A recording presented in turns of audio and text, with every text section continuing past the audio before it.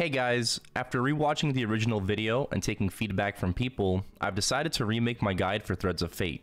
Originally, it was just a talk I did on stream, and I felt like it would be good to upload on YouTube. However, the terminology I used at certain points made it a little confusing for some people, so here we are. Let's get right into it. Before we start, please know that this isn't a guide on how to do Mushroom Shrine, as that is a separate thing you need to do before getting to this point. Please check the description of this video for a link to Mina Story's guide to completing the Mushroom Shrine Tales prequests. Once you finish that, and talk to all the NPCs in Mushroom Shrine, you will have an extra quest in your Lightbulb tab. Click the My Level Range button on the bottom right, and that should show you the quest Threads of Fate, Unraveling the Threads of Fate. This quest should appear if you did everything correctly for Mushroom Shrine. For the sake of this guide and video, I'll be focusing on the two most important people to maintain because of what they can offer. These two NPCs are Tengu and Kurama. Firstly, you need 70 closeness in order to summon an NPC. When you summon Tengu, he gives you a 20 attack slash magic attack buff for an hour every 24 hours. Make sure when you summon Tengu for the buff, no other atmospheric buff is going on because it will not go through and you will waste it and have to wait 24 hours for the next one. The next NPC is Kurama. Kurama gives you a skill that can one-shot mobs, but has a very long cooldown. This skill is mainly used for Punch King events, where you have a bunch of smaller mobs that you want to get rid of quickly and just focus on the big boss. Now, let's talk about closeness. You can gain closeness four different ways. The first way is by gifting. You can gift an NPC 7 times per week, which resets at midnight Monday UTC. You gain 3 closeness each time you gift for a total of 21 closeness per week per NPC. Second way is by talking to the NPC. You can talk for 2 to 3 closeness every 30 minutes, which does cap at 50 closeness. The third way is by defeating the Showa Town boss daily for a ball of yarn that gives 7 closeness to any NPC you choose. Mikey Chain has a great guide on this that I recommend you follow if you need it. The link to it will be in the description. The last way is by repeating the Tengu fight daily.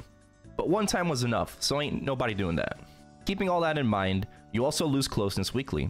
At midnight Monday UTC, depending on your closeness, you will lose a certain amount, but that can easily be maintained by gifting the NPC again.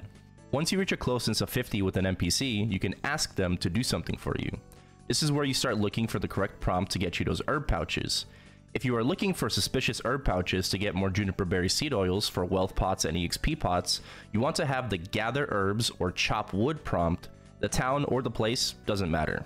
The reason why it is so important to have two different NPCs at 50 closeness is because once you get the prompt, you need to make sure you ask a different NPC first before you ask the NPC with the correct prompt or you will lose it.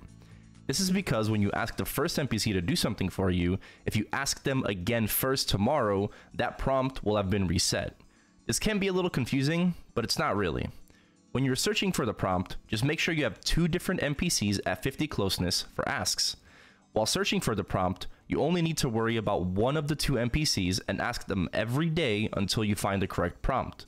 Once you do get the right prompt, ask the other NPC first the next day, and do that from now on, and you will keep the correct prompt that you got from the initial search. That's it.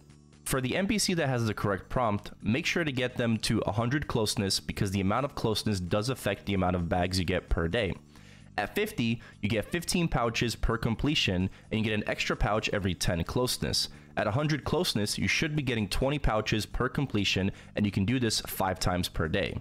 I should mention after the first ask every day, just relog to reset that ask request, since asking is by completion, not attempts.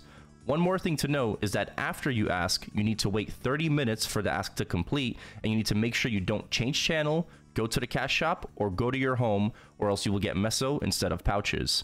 If you do this by accident, just relog and redo the ask. That should be all the important information regarding Threads of Fate and acquiring Juniper Berry Seed Oils for those wealth and EXP potions.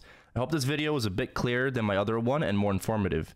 If I missed something, feel free to leave that in the comments down below.